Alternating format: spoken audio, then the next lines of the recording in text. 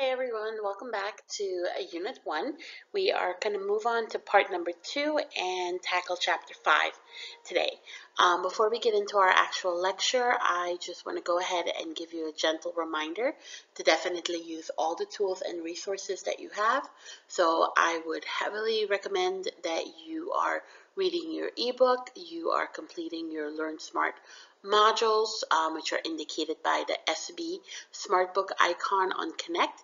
And obviously, as you are going through your notes, if you come across any questions, comments, or concern, please do not be shy. Continue to email me, post them on the discussion session, and if you want, we can always set up a Blackboard Collaborate. All right, so without further ado, let's go ahead and start perusing um, through chapter 5. Chapter 5 is going to take a look at um, inheritance patterns and it will basically talk about the fact that Mendel wasn't always correct when we talked about or when he talked about dominant versus recessive and its phenotypical expression. So before we get into some variations, let's talk about the fact that in our previous discussions, we did mention that when it comes to simple Mendelian inheritance, we do know that there are definitely some patterns that need to be obeyed. So we know, for instance, about the law of segregation that indicates that diploid organisms, when it's time for them to form their gametes and pass it on to the next generation, those gametes will have to go ahead and segregate into their haploid versions. We also know of the law of independent assortment, which means that if you're looking at multiple genes, um, those genes do not have to move in a unison because they could be non-linked or they could be located on different chromosomes. So this was, for instance, applicable when we talked about our dihybrid Punnett square in our previous recorded audio when we were looking at, for instance, the color and the texture of the pea plants that Mendel was playing around with. We do also see that as we learn more and more about genes, that their inheritance pattern and their expression will not always follow the simple dominant versus recessive route that we discussed when we were chit-chatting about Mendel beforehand. So we do see that there are quite a few ways that these um, inheritance pattern can deviate from the simplistic dominant versus recessive. So for instance, we see that they don't necessarily have to follow one simple dominant versus recessive. We see that phenotypes can be influenced by the environment that the organism is exposed to. We often see that one gene can control several traits or we can say that several traits can be controlled, um, sorry, several genes need to come together to determine one ultimate phenotype that we're looking at. What happens if the gene is linked and it's located on the same chromosome? Does that then mean that these genes have to move in unison? Um, what if you have a mutation and the allele becomes lethal to the organism? This will affect its success rate when it comes to reproduction. Um, we also know that there are some traits that are either what we call sex influenced or sex limited, meaning that if the species is male or female, it will affect its overall expressivity. And we also know a lot about gene redundancy. So this is what I was mentioning before when I was telling you that oftentimes you need to have multiple genes work together to determine one overall phenotype or behavioral traits that we're looking at. So I think what's best to do is instead of just always using like dominant and recessive expressions, we can go ahead and use things like wild type versus mutation because that'll give us a little bit of more flexibility. So for instance, on this slide, when you come across the terminology of wild type allele, the wild type aspect will go ahead and hint towards the fact that this is the most commonly seen. This is the most prevalent. This is almost what we like to call the quote unquote normal version of the gene. And it then becomes quite normal that as populations of organisms get larger and larger, that you actually see multiple alleles that can be classified as wild type. And this leads us to what we call genetic polymorphism, where you have multiple variations that can be accounted for as the normal version. So for instance, in the elderflower orchid that's pictured at the bottom of the slide, it's quite common for the flowers to either be yellow or red. Both of them are acceptable wild type alleles. When you now have then a random change in the DNA and you get a mutation, what we could see is that that can generate a mutant allele, um, a copy that hasn't been seen before, that is less common, and we don't really know exactly how it will contribute to the phenotype. Oftentimes, mutant alleles will be inherited in a recessive format. And usually what we see is because, especially when you look at a diploid organism, if one copy that's inherited of the genes is recessive or mutated, it will overall affect the amount of protein that the cell can generate. So that means that either you have lower than normal levels of protein um, compared to the wild type, or you can have a protein that is completely defective, allowing for a new wild type, um, sorry, a new phenotype to appear. So the question is then, why are most mutants recessive, recessive, right? So why is it so common that if we have a new variation to inherit it in a recessive trait? And part of that is that it shows that oftentimes in order for an organism to be completely successful and to able to generate the protein that's needed, they might just need one wild type copy. So that might be enough to fulfill their functions. So to answer your question as to why are most mutants recessive, it turns out that when we look at reproductive success, 50% um, of the normal protein might be good enough for the quality of life and reproductive success of the organism, or it could be that that one wild type copy, the copy that's still quote unquote normal, is able to upregulate the expression of the protein that's needed to function normally. Let me try to explain this to you um, in more of an illustrative example. Okay, so here we have an example of color formation in flowers, right? So we have our dominant, aka wild type allele, that's going to be purple, indicated by the capital P. And then we're going to have our recessive, our mutant allele. This is going to be indicated by the lowercase p, and it's going to produce a white coloration.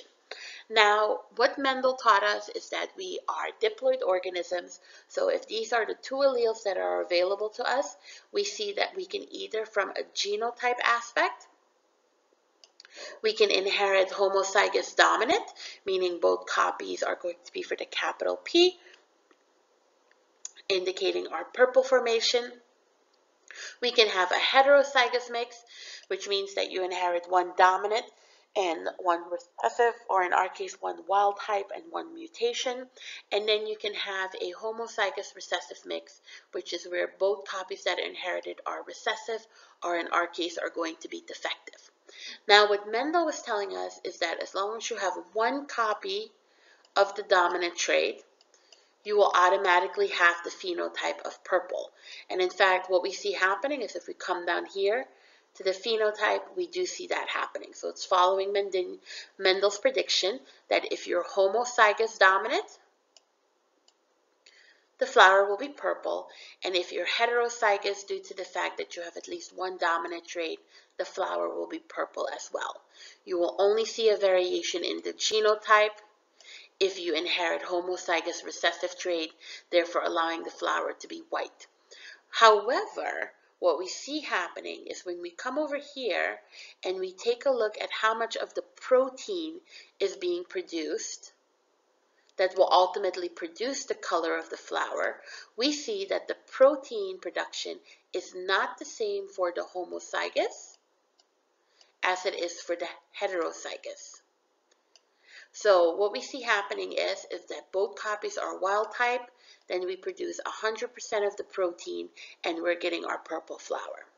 If we see that the mutant is inherited in a heterozygous fashion, then what we see happening is that the fact that we only have one wild type will severely reduce the amount of protein that we're producing. However, this amount is still enough to get us our predictable phenotype. So this part right here where we're looking at the fact that the protein production varies, this is where Mendel's law is deviating. And this is basically showing us that we are not producing the same protein because we have a wild type and a mutant formation that are mixing together. Now, is it possible for you to have a mutant be inherited in the dominant form, meaning that it will be the one that the phenotype will always be expressing if, if, the mutation occurs. And it turns out that yes, it is possible to have a mutant that forms and that takes on a dominant role. It is not as common, but usually what we see happening is that if there's going to be a dominant allele transition for the mutation, it has to follow three types. It can either have a gain of function, a dominant negative, or a haploinsufficiency. A gain of function means that this mutation is going to allow the organism to gain a new function that it has never seen before. Um, and then oftentimes that the protein that the organism is used to being produced from the wild type will either be overexpressed or be produced at much higher levels than normal. A dominant negative mutation means that the mutant protein will antagonize the normal protein that the organism tends to produce in its wild type formation.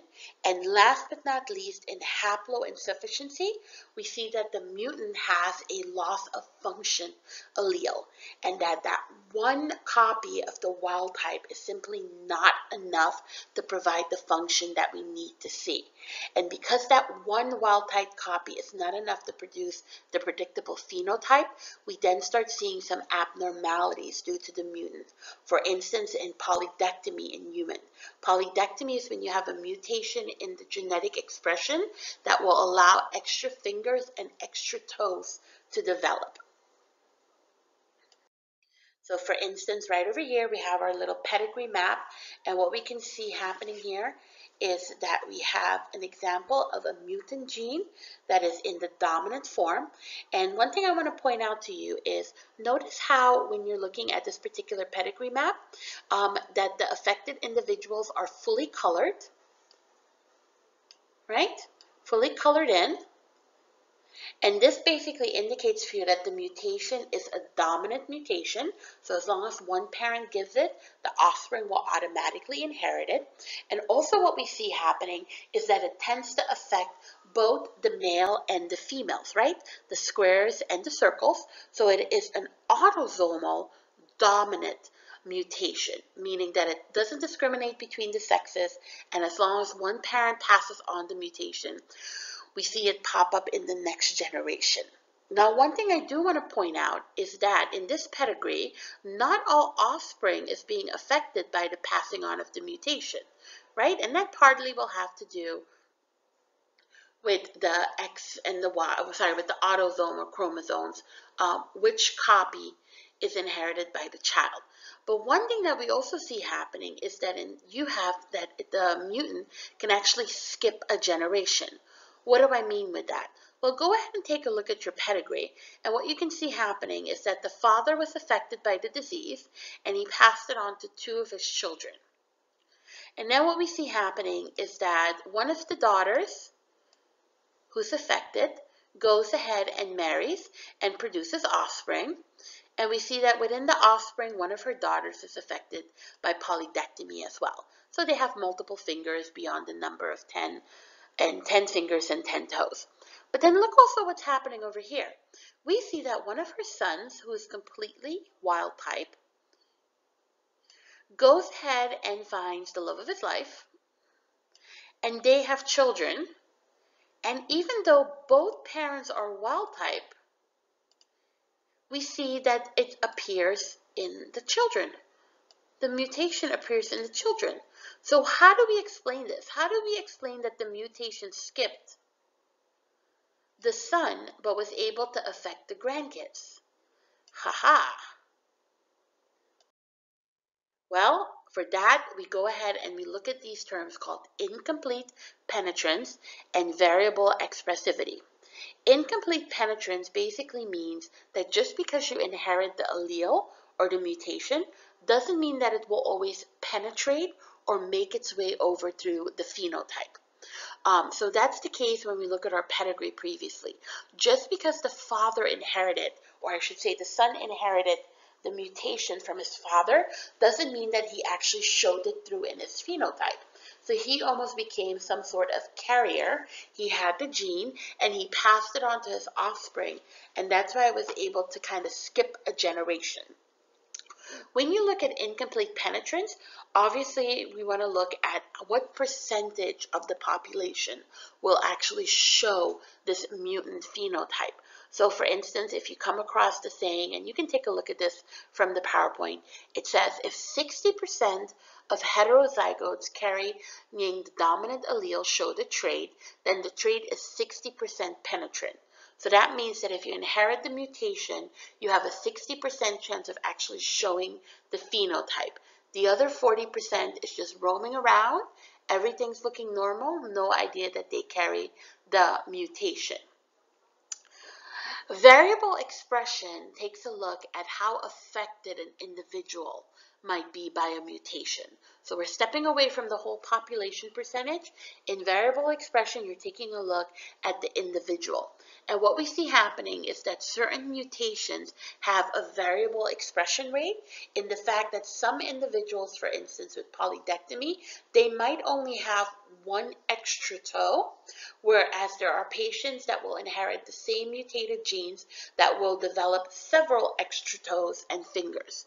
So if you have a low expressivity, that usually means that you have a low level of phenotype showing through due to the mutation. If you have a high expressivity, that means that you have severe or you have a high amount of the phenotypical abnormalities that are showing through.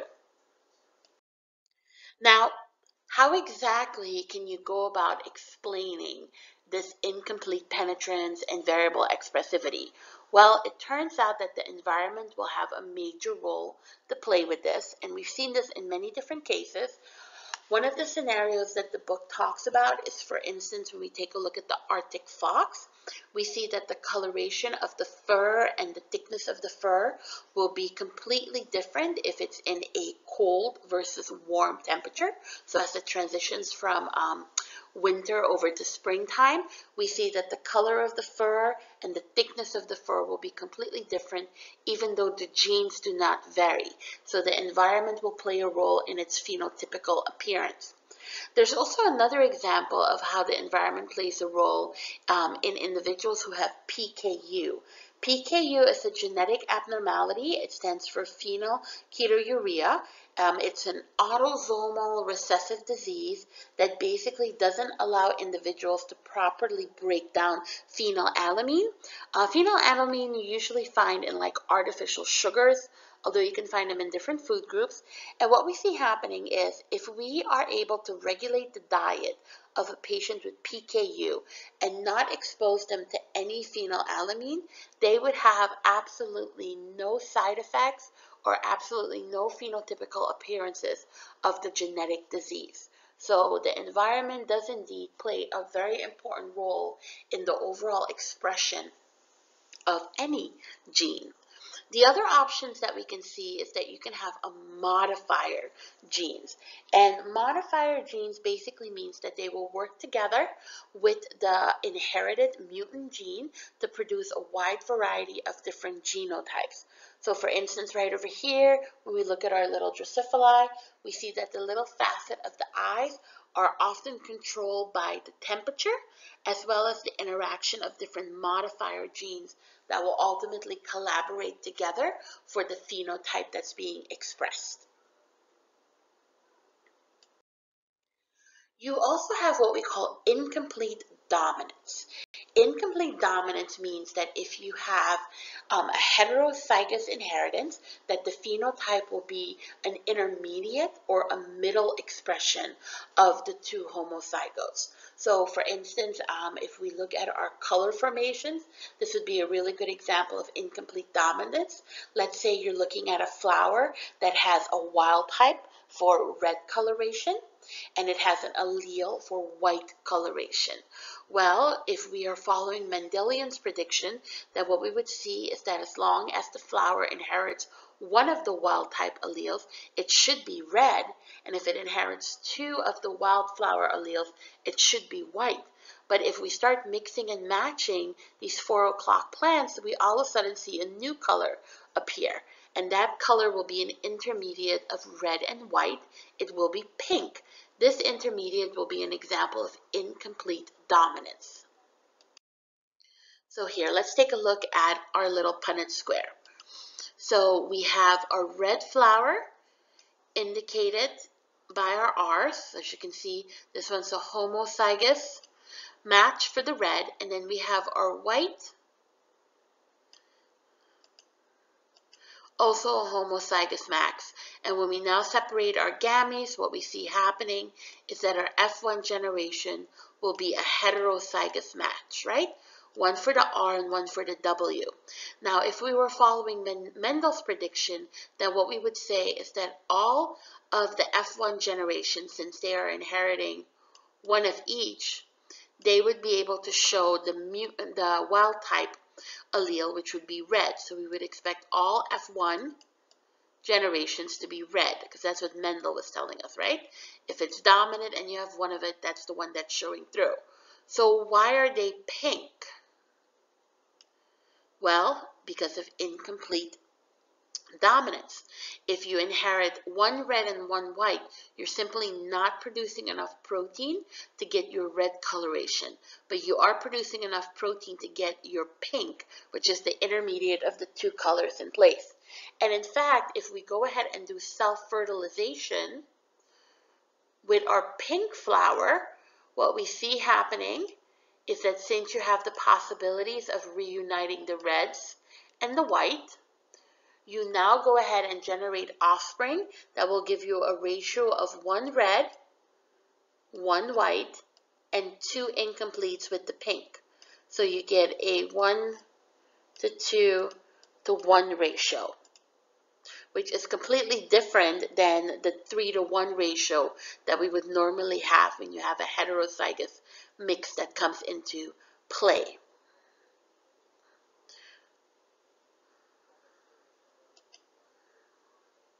All right, and as I mentioned to you before, this all has to do with the fact that 50% of the protein is simply not enough to give you the red coloration.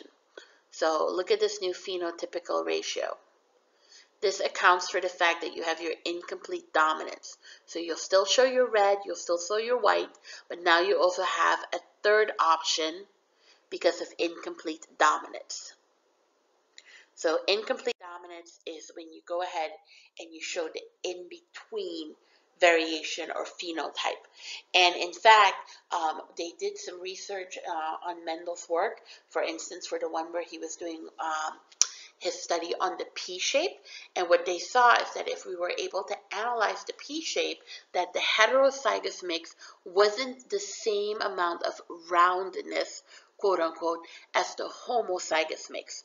So for instance, in his work, he said that if the genotype is either homozygous for R or heterozygous, that you would have round peas. And the only way you can have wrinkled peas if if both parents were able to contribute the recessive R, the lowercase r, to their offspring. However, when we stick the peas underneath a microscope, we see that not all round peas are created equal. So here we go. So we have our genotype as expected, right? Here's our dominant. Our homozygous dominant for round, so we expect our peas to be round. We got that, check. Here in our heterozygous mix, according to Mendel, because you have one copy of the dominant for the round, we expect our peas to be round, okay? Thank you, Mendel. And then right over here, he says if you have both copies that are recessive, so you're homozygous recessive, then you would get your wrinkled pea. All right, perfect. That's what Mendel told us. So we're following our little relationship. However, if we go ahead and we investigate the production of protein between the dominant, the homozygous dominant, and the heterozygous, we see that the amount of protein is not the same. In the homozygous dominant, 100% of the protein is produced, which allows for that protein to accumulate and the round shape to form.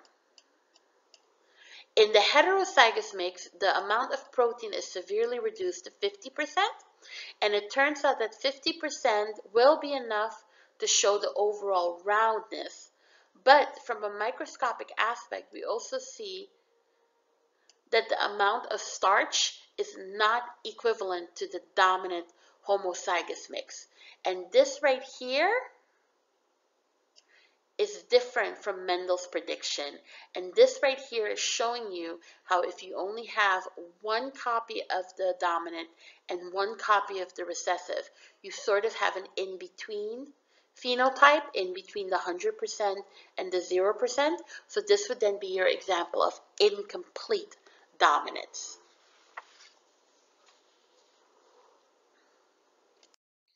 Another scenario that you can look at is what we call over dominance. Over-dominance is also called heterozygote advantage, and in over-dominance we see that the, uh, the phenotype is more beneficial in a heterozygous mix than it is in a homozygous mix. And we see this in certain disease models. One of them that's been really well studied is that of sickle cell anemia. So sickle cell anemia is an autosomal recessive disorder. So that means it can affect both sexes, autosomal.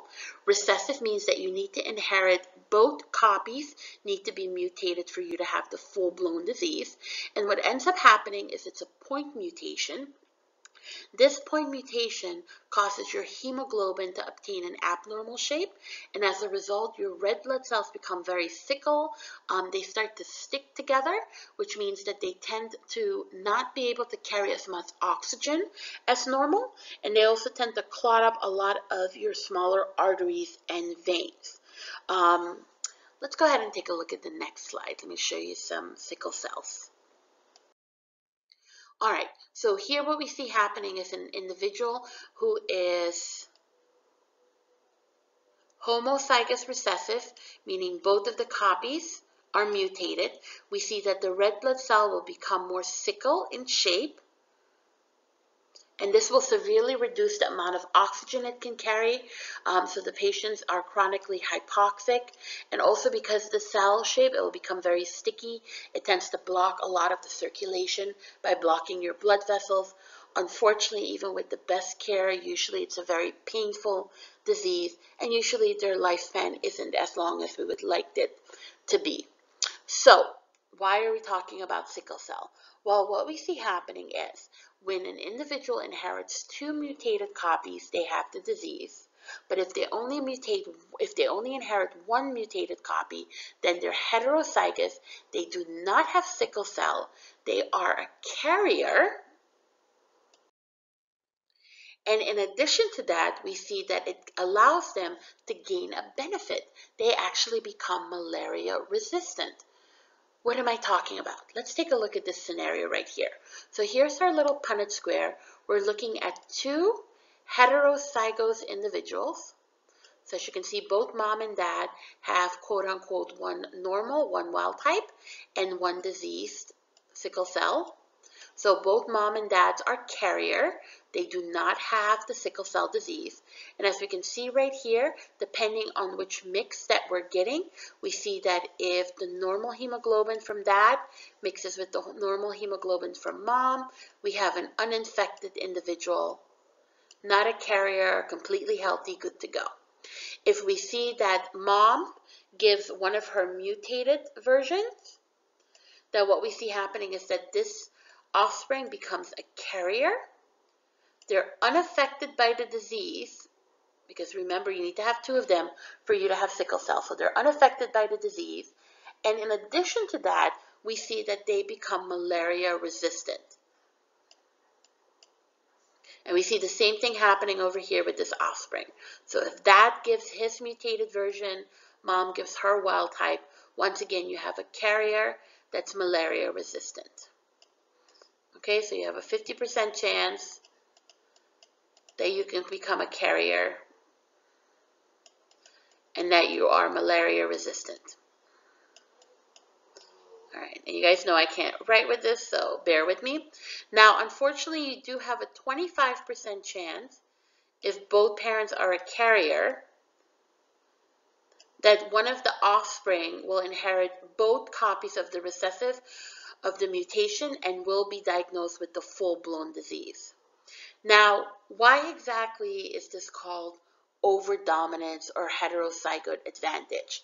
Well, it turns out that in certain parts of the world where malaria is still prevalent, it is actually an advantage to be heterozygous for this mutation because you become malaria resistant, which means that you are not able to get infected by this disease, which means that you have less chance of dying from malaria, which tends to be more commonly known than you obtaining your sickle cell.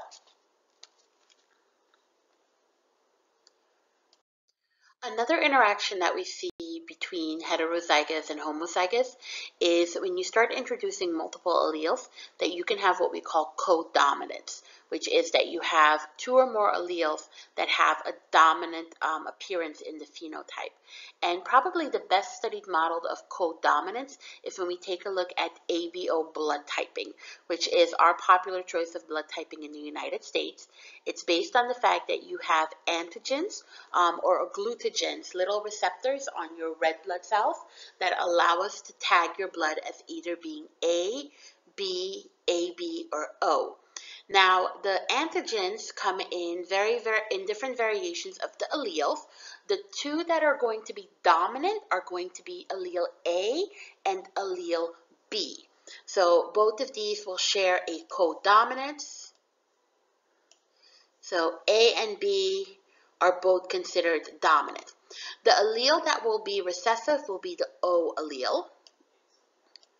And part of that is because even though that antigen is still present on the red blood cell, our immune system has lost the ability to kind of read that particular sugar and receptor, so it kind of ignores it as it stands. So in this case, when we look at our blood typing, we have two alleles, the A and the B, that are considered dominant. So they are equal strength, they're co-dominant. And we have our O allele that is considered recessive. So right over here, you can see from an illustrated aspect, you can see the little sugars that you find on top of your red blood cells. So these are your little antigens, your agglutinogens. And it basically says that you have your um, allele I, which is your O, is recessive to both A and B. So that means that when you look at someone's blood type, right? When we look at, um, hopefully everybody knows their blood type. When you look at someone's blood type, we know from a phenotypical aspect. So when you tell people your blood type, you can tell them your blood type O, A, B, or AB. Now, what does that mean for your genotype, right? Well, if you're blood type O, the only way you can be O, since O is recessive, that means that both of your both of your parents have to contribute and give you the allele for I or the allele for O. So O from mom and O from dad creates the child that's O. If the child is A, blood type A, then when we take a look at the genotype, we have two options. You can either be homozygous, for A, meaning both of your parents gave you an A antigen, or you can be heterozygous. One parent gave an A, the other parent gave an O. Remember, O is recessive. Same thing happens for if you look at someone who's blood type B. From a genotype aspect, that means that you either are homozygous for B, both parents gave a B, or you're heterozygous. One parent gave a B, the other parent gave an O. Now, what if one parent gives an A and the other one gives a B? Well, because they're equal strength, that then means that the child will be AB. So this is an example of codominance where you have two alleles that are of equal strength. And we can kind of play around with this because we can kind of predict as to what blood types will be present in the offspring if you follow these rules. So for instance, if I say to you, um, if mom is AB and dad is O, what are the blood types that the offspring can produce, right? So let's do that little Punnett square real quick. So let's say dad is AB and mom is O. Well, if you're O, you automatically know that that means you're OO when it comes to your genotype. So let's do our little Punnett square. And you guys have to forgive me. I tend not to write I, A, or I, B. I just put A. Okay, so bear with me. So here we go. So if um, that is AB, that means his sperm is either carrying an A or a B. And if mom is O, then all her eggs are O. Right? So that means that offspring number one will be AO, which means blood type A. Offspring number two will be BO. Notice how I put the dominant before the recessive, so blood type B. Offspring number three, also AO. And then offspring number four, BO. So you basically have a 50% chance of having a child with either blood type A or blood type B. Now, what if you have a parent that both parents are AB? Would you be able to have an O child? Hopefully everybody's saying no, because in order for you to be O, that means that both parents would have to contribute an O. And if you know that they're AB, then the phenotype automatically tells you the genotype. One is an A, the other one is a B. Now, what if I had said to you, what if mom is type A and dad is AB?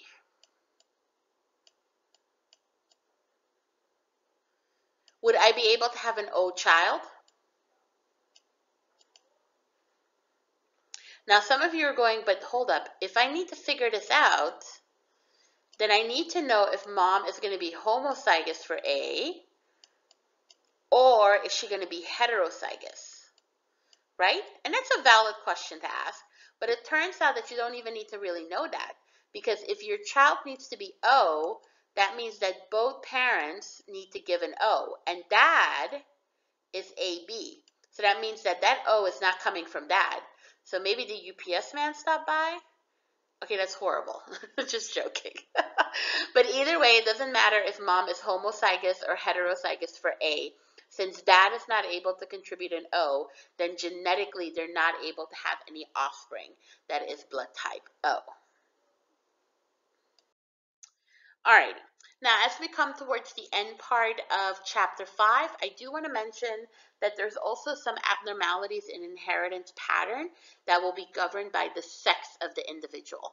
And it basically falls into two categories. We have what we call sex influenced and sex limited traits. Um, a sex influence means that the sex will influence if the trait is dominant or recessive. So usually what we see happening with sex influence is that most of them are autosomal. They're not sex linked, but we do see that in one version of the sex, the trait will be a dominant expression, whereas in the other, it will be a recessive expression. So um, the example I'm going to give you are little scurs in cattle. Little scurs are like little, they're not really horns, but they're little small growths that occur on the skull of the cattle. And what we see happening is that this is an example of a sex influence trait because you'll have it available in both of the sexes, but in males it tends to be more dominant, whereas it tends to be more recessive in females. So let's go ahead and take a look at a little table format. All right, so right over here we see the little scurs. See the little horn growths? Okay. And then take a look at the genotype right here.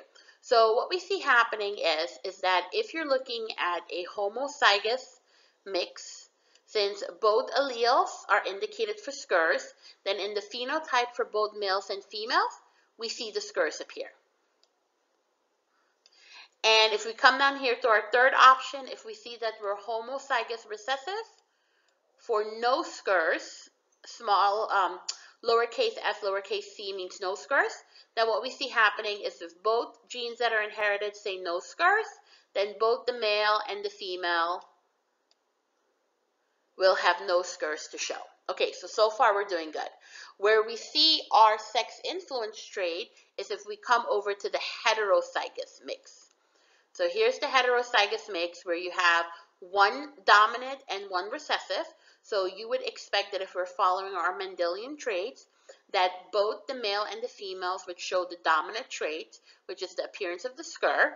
But what we see happening in the phenotypical expression is that the males will show the dominant version. There you go, it has the scurs. Look what's happening with the females. No scurs. So it will show the recessive. So even though they both inherited the same gene combination, we see a difference in their expression level based on their sexes. And because you have one that is dominant and one that is recessive, it is therefore called a sex influence trait. Now, what if you have a trait that will only appear in one sex? So not one dominant, one recessive. It will just either be there or it won't be there, depending on the sex that you're looking at. If that's the case, then instead of calling it sex influence, we're going to call it sex limited. So here is a look at a sex-limited trade. This is a trade that will only occur in one of the two sexes. Usually this is associated with sexual dimorphism. Um, this will basically allow you to distinguish a male from a female. So for instance, a peacock versus a peahen. Um, on the picture right there, you can see your hen versus your rooster because it's a wide variety of different feathers and plumages, making it very easy to discriminate one female from a male. Um, in um, us, in our mammals and humans, we can take a look at the fact of humans' uh, sexual dimorphism in the fact that females will produce ovaries, where males will produce testes. This is an example of a sex-limited trait because it will have a wide variety. I'm sorry, it will either be present in one sex or absent in the other. So there's no dominant versus recessive. It's either there or it's not. Sex-limited traits can be both autosomal or sex-linked. Um, however, keep in mind that they will only occur in one of the two sexes.